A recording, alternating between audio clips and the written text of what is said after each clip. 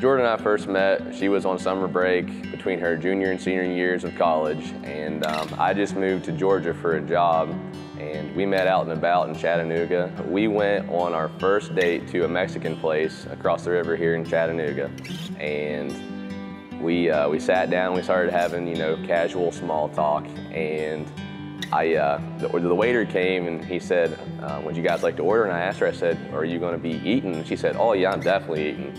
And uh, I started laughing and, and I knew then that she was, she was a genuine person. She wasn't gonna BS me. So uh, we, we went in on some Mexican food and we had a really good date. We talked so much during the first date that the check actually came and the restaurant was closing. So I offered to give Dustin a tour of downtown Chattanooga uh, the funny thing about this is that even though I'm from this area, I was really unfamiliar with downtown. So we ended up walking like 10 miles that night, like all the way through the bridge, all the way through the aquarium. So we're like drenched in sweat.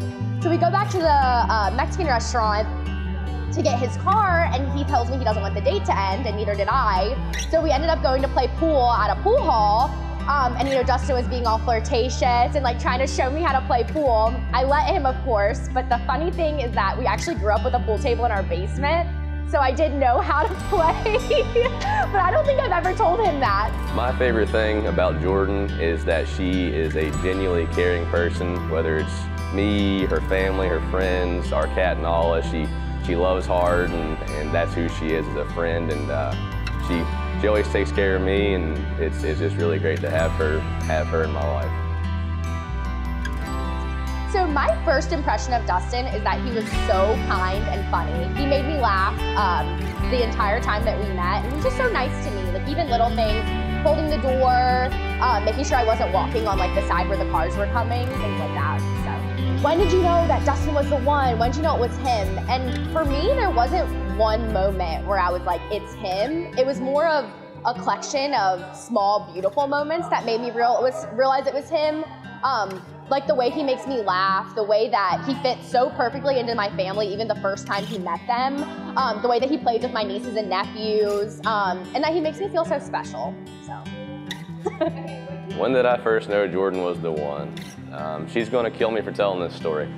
Um, Christmas 2019, she had a work Christmas party, and she she had a powwow with me before the Christmas party. She said, "Can't get drunk at the Christmas party." Said, "Okay, that sounds good."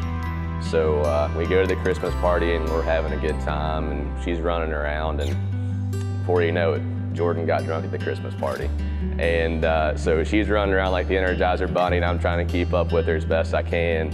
And uh, so the night ends, and, and, I heard her into the car, and uh, she got real tore up. She was like, oh, I'm so sorry, I got drunk at the Christmas party. And uh, I said, you know what, that's okay. And I just kind of had a moment of clarity, and uh, I thought, yeah, she's definitely the one. And she, in, in all of her craziness and, and who she is, uh, she's definitely the one.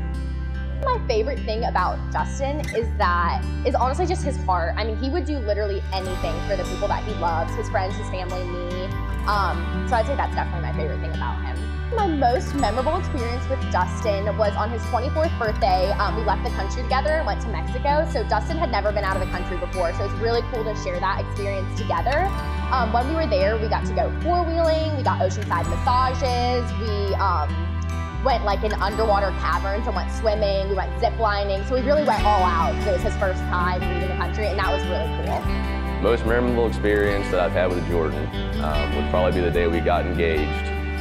I spent several several months designing this ring. I had to work late at, at work, and um, we we her, her, sister and I had prepared this whole soiree out on the beach, and we had a photographer there. Um, and our, our cover up was that we were getting family pictures. And so we walked out on the beach, and there was two girls with cameras who are hired photographers. And, and her sister Kate said, "Hey Jordan, go ask those girls to take our picture." And uh, so she goes over there and talks to him, and I, I went over there behind her and had the ring in my hand. And uh, when she turned around, that look on her face, it was, uh, it was one I'll never forget. It was, uh, it was awesome. It, it was a good memory. I'll never forget that. I think if I could wrap up all of my feelings towards Dustin in one sentence, it'd be that he really is my best friend. He's the first person I want to talk to when I wake up and the last person I want to talk to before bed. If I could wrap up all my feelings for Jordan in one sentence, it would be thank you for being my best friend and I love you more. I love you and I can't wait to get married. Let's do this.